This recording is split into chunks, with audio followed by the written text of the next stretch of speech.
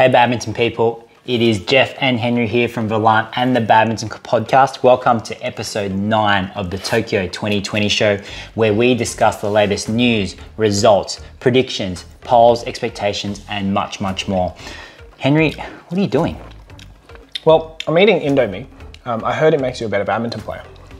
Well, maybe that's helped Greysia and uh, Rahayu Apriani win that that um, that really really tight women's doubles match today. Yeah, probably. Uh, but we'll talk about that later. What we want to talk about first is uh, yesterday's mixed doubles match between uh, Huang Dongping, Wang Yiliu, and uh, Wang, Huang Yaqiong, Zheng Siwei. That was a really thrilling three set match, and it was really sort of watching the mental state of three of the four players quite fluctuating throughout the entire match. Uh, I guess mostly on Zheng Siwei, we could, couldn't really see him, you know, really focused throughout that match the whole time.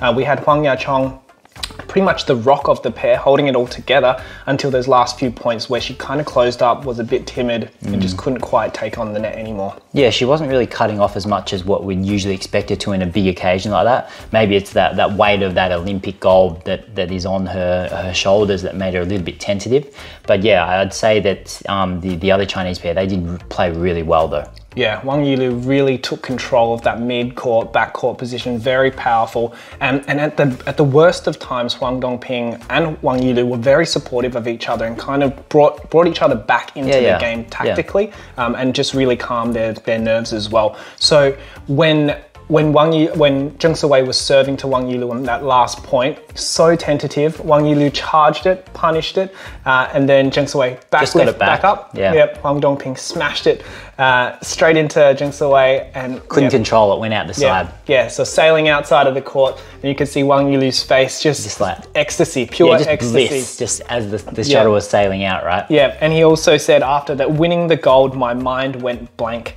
Uh, the reality has not dawned on me. I forgot everything. That's what it feels like. That's what the Olympics means to means to you. It's just like a dream come true, right? Yeah, mm. exactly. Uh, so let's also hear from gold medalist uh, Huang Dongping and silver medalist Zheng Siwei post match at the conference. Uh, 呃，因为搭档嘛，然后其实也是有互补的一些地方，然后当然有着急的时候，然后也是会互相的提醒对方，就是不要着急，然后尽量的去想一些战术，然后尽量把自己的情绪给稳定下来。然后对于我们来说，可能呃最后还多少会有一些遗憾。然后我们的队友发挥的也非常的出色。呃，对于这一次奥运会，我觉得我还是虽然说我们最后拿到了银牌，但是我还是要非常感谢这一次为我们参加这个奥运会付出的教练啊、保障人员啊，其实他们真的非常的辛苦。In other news, uh, we also had the women's singles quarterfinal uh, yesterday as well. We had PV Sindhu versus Akane Yamaguchi. Uh, PV Sindhu won that 21-13, 22-20. Uh, the Yamaguchi couldn't quite find a winning formula there. Yeah, look, she was behind all the way, right? So mm. she lost the first, she was down in the second. She found she found a way to come back in the second set, and it became really, really tight. But mm. throughout the match, Sindhu was just so, so solid with her net play, like her spin net, just the qualities improved so, so, so much, and that's really set up her attack. And Yamaguchi found it hard to find winning shots, I think. Like Sindhu's defense was really good. There was a really long rally in there that kind of neutralized that, and mm. Sindhu slowed down a bit, I think, after that really long one. They were both on the ground afterwards. Mm. And that's that was the turning point. But unfortunately, it was a bit of catch up for Yamaguchi. She couldn't quite quite get there yeah, in the end. Too little, too late, unfortunately. Mm. And that's, uh, I guess, the hopes of uh, the Olympic gold for Japan was stopped there. Uh, we also had Ratchanok Intanon versus Tai Tzu Ying yesterday. We talked about Intanon almost being shocked into peak performance when she played Soniia Cheah earlier. She almost lost that yep, one and exactly. she had to ramp it up whereas Tai didn't have really a really challenging match before that. So maybe that's why she had a bit of a slow start. Mm. Lost the first, but she was looking really scared to me, Very really scared. tentative. She was down uh, 9-13 in the second set. Mm. If Ratchanok could have just kept that pressure on and not give her some of those easy points, mm. then I thought it was all over, to be honest. But Tai Tzu was able to gain that confidence, a few easy points for her, gain that confidence, and we, we saw that, didn't we? Yeah, yeah, we did, we did. We see, we when you know, you know when Tai Tzu confident is when she does a backhand smash and when she does that forehand hold, push. hold and push and winner, and she won the point on that shot yeah, as well. the confidence was there, and I think Tai Tzu Ying, uh, what was working for uh, Ratchanok in the in the first set when she was smashing straight, um, Tai Ying had sort of yeah, figured, covered, figured that covered out. that yeah. forehand off, yeah. Yeah, exactly. But I think that that's the way that Ratchanok needed to play that aggressive play. Hmm. But unfortunately for her, she she did she did lose that match in the end, even though it was a nail biter. Hmm. Um, but afterwards, she did say that she was sad with the result, but really happy with her performance. So that's Yeah. still that's still a positive, and Yeah. hopefully we'll get, get to see her. Look, she's been on the circuit for so long. We hope that she's going to be on there for much longer as well. Yep, Yep. yep. So look, that's that means that we've got the semi-finals of the women's singles tonight, Mm-hmm. and we're going to have an all-Chinese affair um, in Chen Yufei versus He Bingjiao. Mm-hmm. And look, the head-to-head, actually, He Bingjiao is the lower-seeded player, Mm. but she's up in the head-to-head. What are your thoughts? Yeah, 4 2 up. But to be honest, the, the He Bingjiao, she actually won most of her games against Chen Yufei earlier in the years. Um, so prior to 2019, she did beat her in 2019 as well. Uh, but Chen Yufei, she's just got so much variability in her game. These days, I think I think she's going to be pretty convincing um, against He Bingjiao, who did get the, uh, I guess, uh, a- an easy way through um, Yeah. when, when, of course, uh, Zhang Beiwen got injured earlier. Yeah, Yeah. But of course, she played so well against Okuhara. yes, she So did. yeah, I'm going to go with Chen Yufei for that one as well. Yeah. Um, and then we have Tai Tzu Ying, we just talked about her, uh, versus PV Sindhu. PV Sindhu is looking very good. Uh, do you think that Tai Tzu Ying, with, with how she was playing last night against Ratchanok, do you think she was shocked into peak performance? Maybe. I think she's going to come out tonight a bit more fired up maybe from the start and Hmm. and really getting a good start I feel.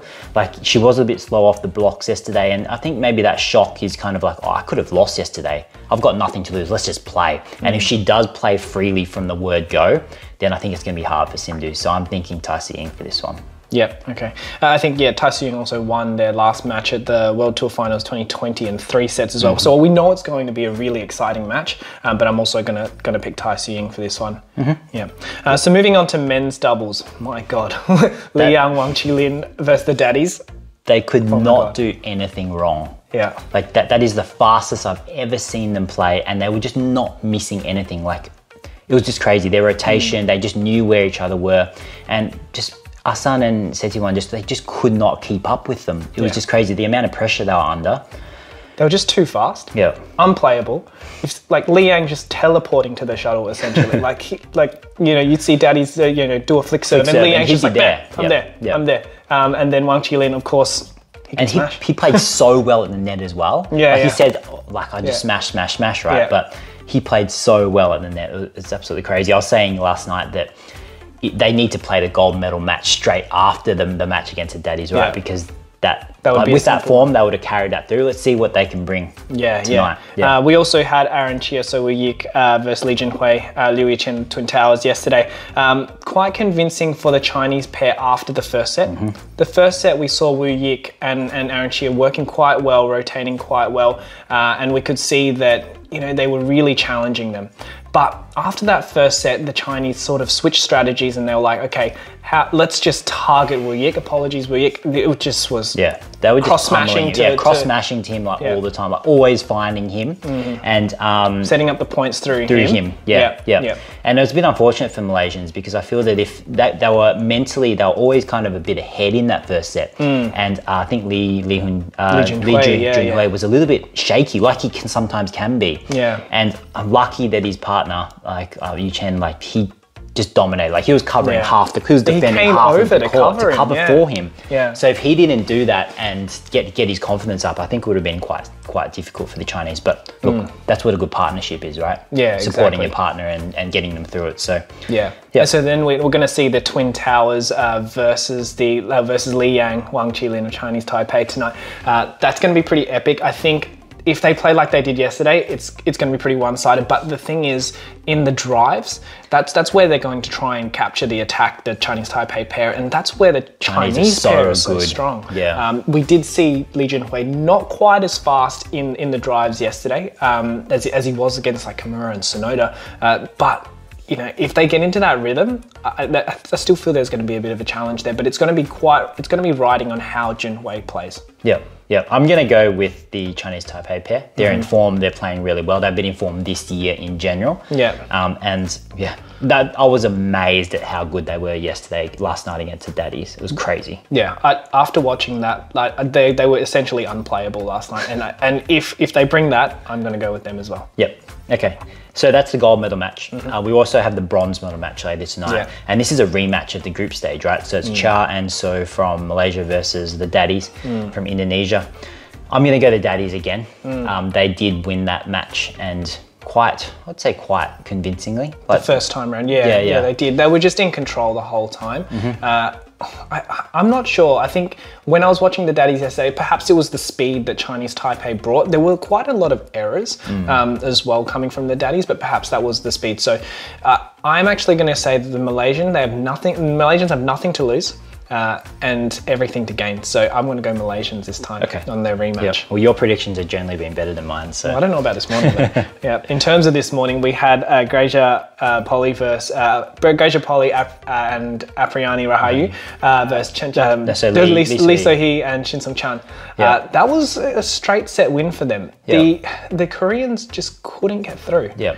Yeah. The defense was just too solid for them, and um, I'm surprised. I was Yeah. surprised with that result. I did tip the, the Koreans, um, but of course with Greysia with that much experience behind her, and we Yeah. were saying this morning like Rahayu is covering a lot, so Greysia's moving forward, but is expected to come and cover the rear Yeah, court, which they she do does. really well. She's so fit. She's so fit. She can she can run and smash and jump all day, which Yeah. which is a huge part of it. Maybe it's the It's the Indo. maybe it's the Indomie that's um that's giving her that power. Yeah, So- perhaps. So yeah, that that that was uh, 21-19, 21-17 Mm-hmm. uh, to to the Indonesian pair, uh, and now we have Kim and Kong. So Kim So Young, um, Kong Hee Young versus Chen Qingchen Jia Yifan, 15-21, 11-21 down. Again, I said an all Korean finals, but maybe almost maybe right. I was thinking bronze. Bronze medal final. But look, the, the Chinese pair were were pretty hard to get through as well. It's kind of they played a very similar style where they were just so defensive and just they, the, the Koreans couldn't get through them. Yeah. Um, but the Korean the problem with the Koreans this morning was that they just didn't have any variation. It's just hard, hard, hard. hard, right? hard, hard, uh, and, and they just needed a little bit more to get through that Chinese defense. Yep. And of course, Chen Qingchen and but and Jia Yifan, but the defense just held up. It Mm. was just it just seemed easy for them to just fend everything off. And then when they got the attacking opportunity, then Yeah. they could make winners. and they were just confident throughout the entire match as well. Yep. Yeah, yeah. And so that would mean that the uh, gold medal match is going to be uh, between Indonesia's uh, Greysia and Apriani versus uh, Chen Qingchen Jia Yifan. Uh, and then we'll have the bronze medal Kim and Kong versus Lee and Shin. What are your thoughts? So gold medal match. Uh, I love Indonesians and I, I speak a bit of Indonesian myself, um, but I think the Chinese are going to be too strong. I said this about the Koreans, so I could be completely wrong, but I think the Chinese were looking really strong, so I'm going to go the Chinese, even Yeah. though deep down I'm probably going for and rooting for the Indonesians. Okay. Yeah. I, I think that if the Chinese bring a sort of not a not a fast attacking game, but more a slow playing style, they're actually going to get on top of the Indonesians just because Greysia is probably not not quite as fit. I, I think if the Chinese bring that long, steady game, uh, that the Indonesian pair are going to struggle if Greysia cannot get into the front. Yeah. Yeah. Okay. Um, And so, and then yeah, with Kim and Kong, Lee and Shin, uh, I I'm actually going to say Lee and Shin uh, for this one. I think they they just have more variation. Um, they know the players well enough, and Shin also has you know a history of winning a bronze medal at Olympics as well. Yeah, I'm going to go that as well, based on that experience. So on that same track, we also had the men's singles. Uh, we have the men's singles semi tomorrow morning as well because we had quarterfinals this morning. Um, and I guess key one to focus on: Kevin Cordon uh, versus Heo Kwang Hee. Going in for the uh, underdog victory there. Yeah, so- continuing that. Uh, Continue that, beautiful awesome run, that, that Yeah. huge left-handed smash, and and Heo just wasn't the same player that he was against Kento, was he? No. I think maybe the expectation that he should win this one, uh, it was it was completely different. It was a complete re- role reversal, right? He was the underdog against Momota, and now he was tipped, tipped to win. yeah. tipped to win. As I said yesterday, I thought that you know, having going into the a, a final uh, would really put some pressure on him, and seeing him play under pressure, he just wasn't charging the net like he was against Momota, um, and his smashes just weren't getting through Cordon, and Yeah. Cordon was just like, like you cross smash, I'll cross smash. Yeah. Yeah. And then caught on in that second set because he was playing against the drift. Mm. He was able to really take control of the net. So Heo was too scared to lift, and I think he so many net kills Mm. off off off net shots in that second set because Yeah. he was just so aware. So good good work for Kevin as well. Yeah. So Guatemala, I'm sure they're they're they're really proud of him. Yeah, for sure. And then I guess the other standout match from this morning was Victor against Shi Yuqi. Yeah. Uh, Victor just unstoppable. eyes. Yeah, the, the laser eyes we call Yeah, it. the He's laser just eyes. so so so focused, and um, his smash was working really well. And Mm. every time he smashes, he does a kind of like reloads his his arm like this Yeah. after each point. Yeah. And yeah, his attack was good. He was just retrieving everything. Shi Yuqi just had no answers at all. Yeah, just looking at the coach the whole time and just like, what do What- I what do? do- yeah. The only time that he seemed like he was able uh, to to get ahead was when he was on the side with the drift, uh, and he and he attack. He just had to attack, but, But there's so him much effort It to took win him the like point. five six smashes Yeah. to, to just to win the point. Yeah, like what he needed to do was essentially just smash deep down the line and just hope to get another smash and try finish the point that way. Uh, but yeah, going into the semis um, for the uh, women's singles as well as men's singles, uh, you know, there's a lot of pressure now. A lot of pressure as we've seen in some of these matches already. Um, but let's hear from Poul-Erik Høyer Larsen, who won the men's singles gold medalist in Atlanta 1996, on what it feels like going into the semis. Check it out. So for me, winning that semifinal in Atlanta, beating Heryanto Arbi, underline that now it's not a matter about bronze, it's a matter about gold and silver. So therefore, my, my, my reaction was uh, very, very emotionally strong. So I ripped off my t-shirt or polo shirt, and um, I think that maybe is uh, one of the golden pictures of how a gold medal and how uh, you can celebrate uh, such a fantastic uh, and such an important thing as a gold medal. Now, for our guest for today's episode, we have an Australian, and she just got back to Australia from Tokyo just yesterday. And we're here to talk to her about her experiences in Tokyo. She played in the women's doubles and mixed doubles and actually caused one of the biggest upsets in women's doubles. So here is Gronya Somerville. Uh, I'm one of her coaches, so I'm really proud. So let's have a chat to her. So, Gronya, how was your Olympic experience in Tokyo, and what was your favorite moment? Um, the whole experience was pretty unreal. My first Olympics, so it was just amazing to be in the village with all the best athletes in the world. My favorite moment was definitely just stepping out on court and kind of just making everything feel real, being able to step out after so long without competition and just play some good badminton. Yeah, and of course, you did have a very exceptional result in beating uh, uh, Sara Thygesen and Maiken Fruergaard uh, in your last match at the Olympics, which was pretty exciting to see. Uh, but in terms of the the experience at the village as well as the competition hall, was there much interaction between other teams or countries? Um, I probably interacted the most with players just kind of in the warm up courts or at training, just chatting to them if we were, you know, on a court next to each other. But I think at the start, everyone was trying to keep their distance quite a bit. Um, and then obviously at the Australian headquarters, we were quite friendly, getting to know other athletes and, you know, sharing a lift and asking what sport they play, that kind of thing. And I guess we can say that in the badminton, right? Instead of just the, the nod after the match, they are like doing the hugs and the, the handshakes at the moment. So they're breaking all COVID rules there. yeah. Um, but in terms of the playing conditions, look, we've seen that there looks like to be a bit of a drift from one side. So how did you find the playing conditions there? Yeah, so across my six matches, I played on all three courts. And the first one we played on was court three, which is kind of furthest from the entryway. And that actually probably had the least wind because when you walk into the entry, there's like a huge wind as you walk through. Um, my first match on court one felt quite drifty, going um, one end. I guess if you, as you've noticed, um, one side the shuttle goes long a bit more easily, and then court two I thought was even worse, which is even closer to the door. So, um, yeah, it, it's not too bad, but definitely something that you have to adjust to in the game. Yep. And how is it without having any spectators there as well? Um, for me, I didn't find it that unusual. I think it kind of just felt like the early rounds of a tournament before it gets to the finals. I think it'd be weirder now getting towards the medal matches, having less crowd. Um, but I think it's cool that um, the teammates of players are now coming to watch and there's a little bit of cheering happening, as you can see. Yeah, there's definitely a little bit of cheering, which is which is nice to see, especially at the Olympics when it's such a different event this time round. In terms of the, the we're going back to say the game that you played against the Danish pair. What was that moment like when you won that match? Oh, it was pretty incredible. Um, I think after catching up and winning the first set and then losing the second, we were a little bit nervous. But then in the third, when it just came together and we had that good lead, we started to relax a bit um, towards the end. Uh, yeah, it was just awesome to finish on a win and show our some of our best badminton after our, a slow start in the other two matches beforehand. Yeah, and I guess going to the mixed doubles as well, where you did have some pretty good results, where you had chances against Praveen Jordan and um, Oktavianti, and then obviously played really well against Arisa and and Yuta, which and who ended up winning the bronze medal. Um, what were the things that you say learned the most during your Olympic experience in your game?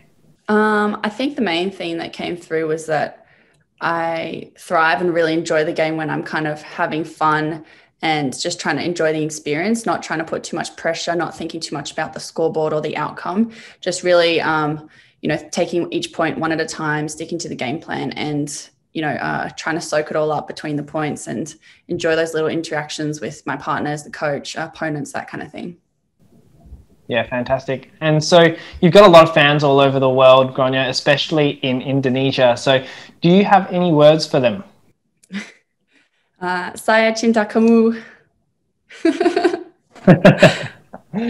awesome. Okay. Thanks, Gronya. Thanks, Gronya. Thanks. Okay, so Henry, we have uh, the night session tonight starting at 6 p.m. local time. We have the women's singles semi-finals, mm -hmm. and we also have the bronze and gold medal matches of the men's doubles, as we discussed previously. Yeah. Mm -hmm. uh, so in terms of yesterday's poll, uh, I bet you're all wondering where that shuttle was uh, when Lee Zii Jia hit it. Uh, so there were A, B, C, D locations. You will see them on screen now. Uh, we actually had over 8,000 votes. And the most voted answer was, was actually C at 35%, but the correct answer was D, and it had 17%, so the least amount of votes. So we hit the shuttle well, mm -hmm. or Lee Zii Jia's just really crazy at making angles, and the yeah. shuttle was where was at the crazy angle that he didn't look like he was able to hit it. Yeah, I mean, mm. we did say that he does has a very spontaneous smash, so yeah, it, yeah it, it, would it does make sense. Uh, so in terms of our new poll, Yep, we have a quote and the quote goes like this, it'll be on screen as well. I just used all my power. I don't have anything else. I kept smashing. So who said that? We're gonna give you some options. We have A, uh, Lee Junhui, B, Jia Yifan, C, Wang Qilin, and D, Kong Hee Yong. So get your votes in and we'll reveal the answer tomorrow. All right, so now it's time to raise a racket, Jeff. Uh, I think it goes without saying that this one is actually for Ratchanok Intanon. We're going to raise our racket for Ratchanok Intanon of Thailand for her sensational performance and comeback through the Olympics, but then of course, unfortunately, she losing wasn't. to Tai Tzu Ying. Um, but a great performance nonetheless, and we hope to see you uh, in the future tournaments and, and maybe in, in Paris. Mm -hmm. Great. So just as a reminder again, we have play at six o'clock tonight, Tokyo time, and 1 p.m. tomorrow morning. Um, if you are still not sure where to watch or to stay up to, up to date with everything happening, make sure you check the screen now. You'll see a, three URLs you can use to do so. To do so. So thanks for tuning in to episode nine of the Tokyo 2020 show. We will see you tomorrow.